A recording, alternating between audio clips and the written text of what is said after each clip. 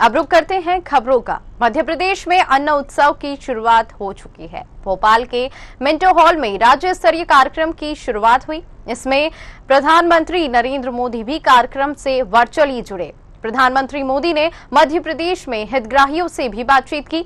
उन्होंने इस परिवारों की रोजी रोटी और बच्चों की पढ़ाई के बारे में पूछा। मोदी ने कहा, टोक्यो ओलंपिक में हॉकी खेल में बेटियों ने कमाल कर दिया। इनमें से कई बेटियाँ गरीब परिवार से थी। आप भी बच्चों को पढ़ाएँगे तो वे बड़ा करके दिखाएँगे। वहीं इस अवसर पर सीएम शिवराज सिंह ने कहा कि प्रधानमंत्री अन्न वितरण योजना के तहत मध्य प्रदेश के एक करोड़ पंद्रह लाख परिवारों को लाभ मिलेगा। लगभग चार करोड़ नब्बे लाख गरीब भाई बहन को निशुल्क अन्न वितरण कार्यक्रम पूरे प्रदेश में हुआ है। उन्होंने तय किया कि बाढ़ग्रस्त क्षेत्र के प्रति परिवार 50 किलो अनाज अतिरिक्त दिया जाएगा।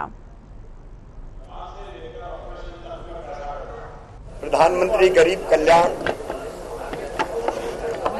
अन्न योजना के अंतर्गत मध्य प्रदेश के एक करोड़ पंद्रह लाख परिवारों के लगभग चार करोड़ नब्बे लाख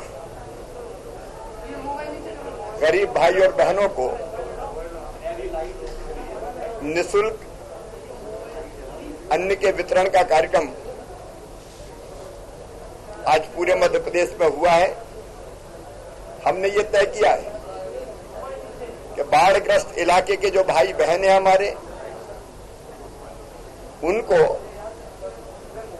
इस योजना के अतिरिक्त 50 किलो प्रति परिवार अन्न और तत्काल दिया जाएगा। और इसलिए उनको वो अतिरिक्त अनाज मिलेगा।